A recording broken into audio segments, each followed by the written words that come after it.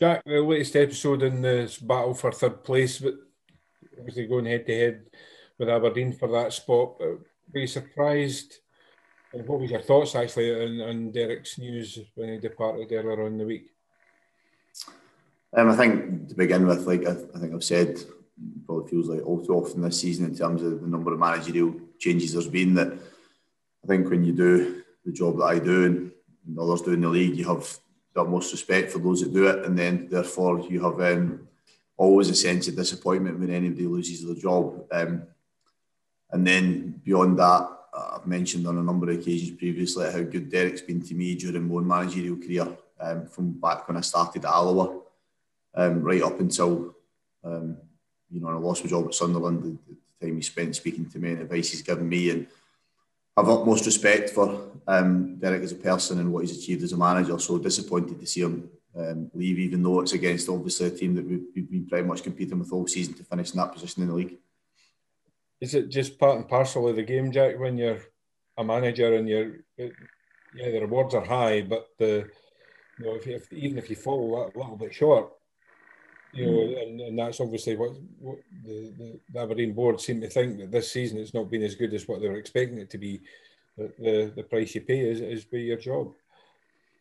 I think we live in a world in a world nowadays where um, people want change continuously. There's a demand for change continuously, whether it's right or wrong, or justified or unjustified. Um, I think the average tenure now for managers is get shorter and shorter with each passing season.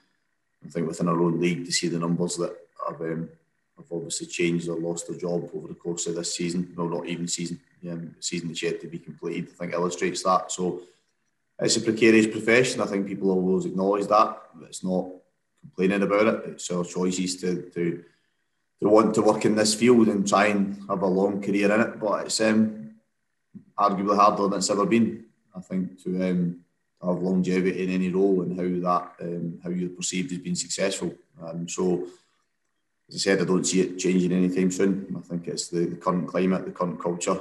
Um, unless something dramatic changes, then it's, uh, managers will accept that they have to um, be incredibly good to try and stay in a job, which is um, remarkable to say that to, you have to be really good to stay in a job, never mind actually be seen as being successful.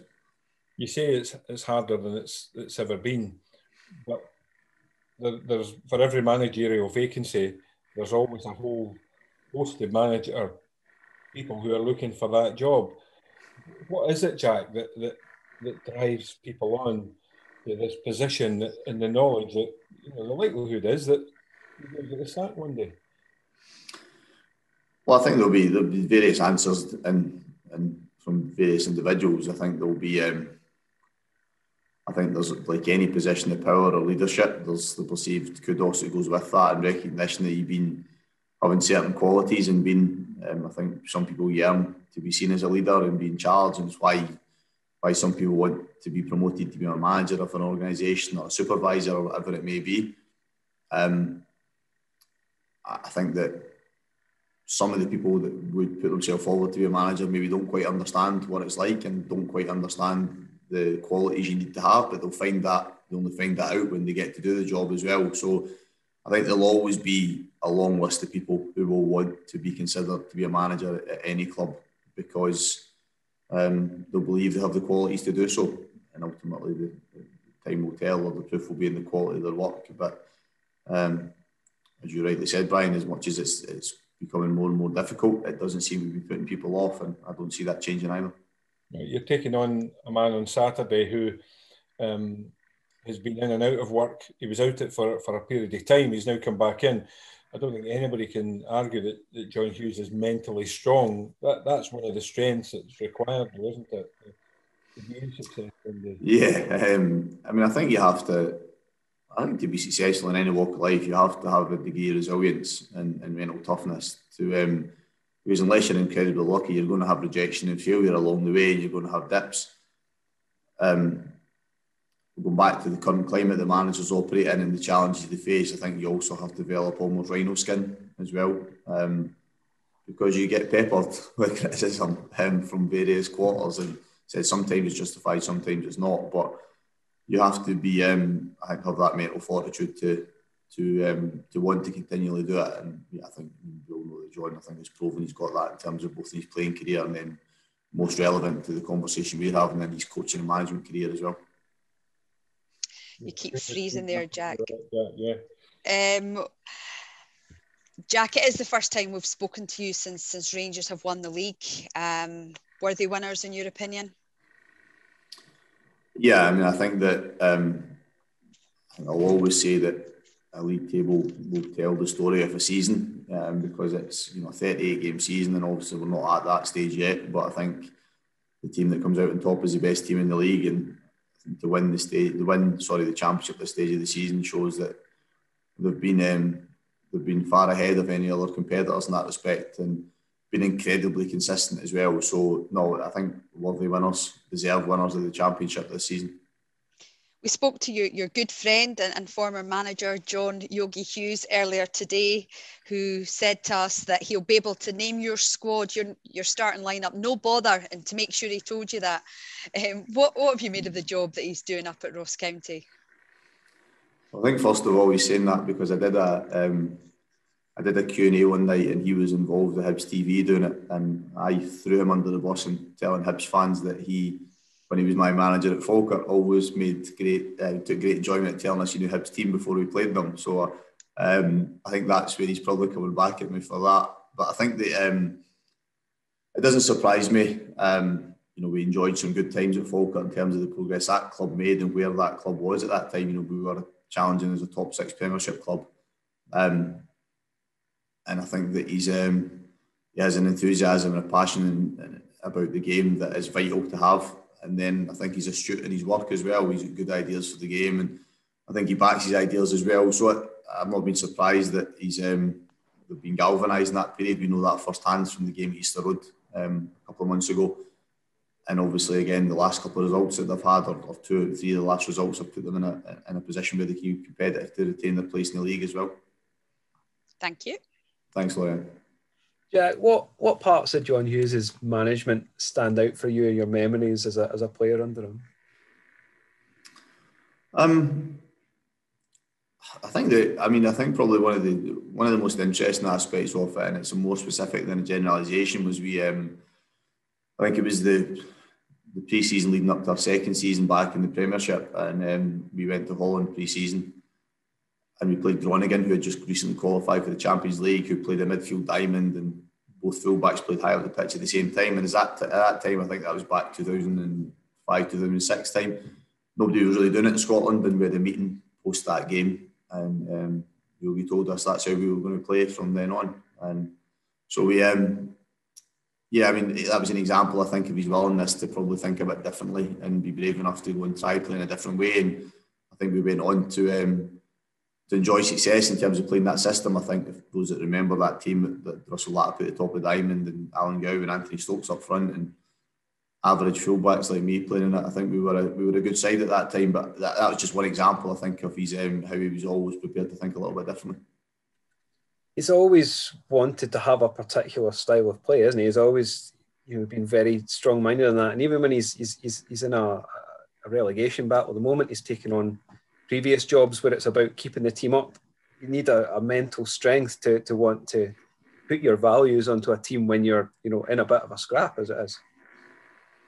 Yeah, I mean, I think, as I said earlier, I think he's shown that that fortitude. I think to um, even want to keep keep coming back into managing as well, because like anybody that has a has a longish career it, he's he's he's enjoyed some successes and some good times, and he's had some bumps along the way as well, and it's the ability to bounce back from those setbacks and keep doing what you want to do and keep believing in it. So I said, I think he's, he's, he's experienced enough and proven enough now in management to have illustrated that time after time. Jack, um, I just wanted to ask you about uh, a few players. First of all, Kevin Nisbet, Ryan Porteous. I think they started for the first time uh, at the weekend since the transfer window. Do you, do you, think they're back to their best, both on, on the park in training uh, and mentally? Well, I think that um, what I would say is that neither of them were in that respect. So they, they came out of the team around the time of the, the speculation and the comment in that at the time in terms of the challenges for him as a young player, and that coincided with us having a, a really good period in terms of results and performances and players that had waited patiently to play were earning the right to keep hold of that jersey. So there was no real, um, there was nothing sinister behind them out of the team other than players that came in playing really well. Um, and I think then when they came on in games, they had contributed. Um, I think Ryan in particular, obviously as a defender, sometimes that impact can be less obvious. I think naturally as you're a striker, it can you can have probably greater impact in the game. But Ryan's came on in games and, and looked to be right at it. So um, I think they've waited patiently for that opportunity, and it was good to, to get them back in starting games as well. And just on uh, and Jackson, who we just spoke to, he was saying that physically wise, he's almost felt as if he's been in pre-season since since he joined. But I think he started every game since he's come in. Did you expect him to be at such a high level? Um, well, we had to probably, it was an educated gamble from our respect because we, we weren't at the stage of the season we were bringing in, we couldn't afford to wait four to six weeks for him to be up to speed. Um, otherwise, it would have been it wouldn't have been worth uh, from his point of view and our point of view in terms of bringing him to the club. So, based on his, his previous history, number of games he's played, his all round fitness in general, he'd, he'd, been training at Oldham previous to him coming to here. So, we felt as if, well, I suppose, taking as much as we could into account, we felt as if he'd be almost ready to go. And but I think he has. He certainly surprised me in the early games at um, where he was at I think maybe he's had a little bit of a dip in, in the last couple of games whereby it sometimes happens. But he's looked in training over the kind of last five, six days again, he's looked as if he's um, I think he's getting fitter and stronger again, which is obviously encouraging for us. Thanks, Jack. Thank you. Uh, Jack, just going back on the sort of time that managers get, I think now that you're the, the fourth longest serving manager in the Premiership, despite the fact you've only sort of been in the job just eight months, it just it just is that I know you've already touched on it a bit, but given that you're four it just shows the, t- the lack of time managers again.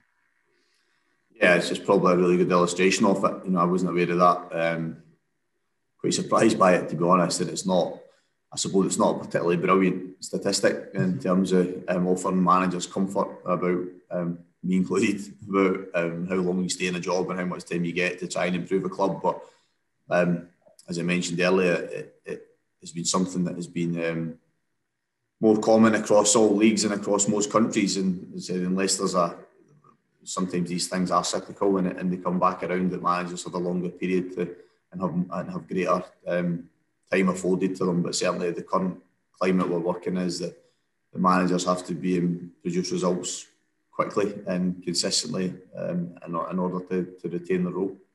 In your head, have you got sort of because Darren McInnes was in the job eight years, might not be as long as that, but have you sort of get a time frame in your head that how long it would take for you to fully put your stamp on a club? Um, I could do that. What was that? The one that was a few years ago, the 2020 vision for Scotland. Was that? So if I say what maybe I would, what's about a 2035 vision for Hibs? Does that get, does that buy me enough time? Um, Just about. I think that look, I, I I want to stay in the job as long as I can. I think that you know when you when you attend coaching courses or you participate in them, and certainly when I was younger and I was doing them, they talk about you know a one year plan, a three year plan, a five year plan, and it's all very well good in theory. It's nice to talk about that, but the truth is, as a manager, you just got to keep getting results to to give you that longevity in the role, and um, that's really my focus. Um, you know, I, I, can have input in how we build other areas of the club, but but every single week, sometimes more than once a week, it's about just making sure I, I can put a team on the pitch to win games. And, and, if I do that, then then I'll enjoy a longer spell here. Mm, on the weekend, then, um, how's your squad looking after the last couple of weeks? Um, yeah, we're okay. We've just got um, Sean Mackie remains absent. Um, other than that, we're okay. We're, we're, reasonably fit and healthy, which is good because obviously I spoke about tight numbers in terms of the squad, so we have um, everybody else available as things stand. Will you be texting Yogi your team tomorrow morning, Jack? I might as well because you'll find out anyway, so maybe just send him it. Cheers, Jack. Good luck. Cheers, thank, thank you. you, Jack. Good luck. Cheers, thank you. Bye. Have a good day.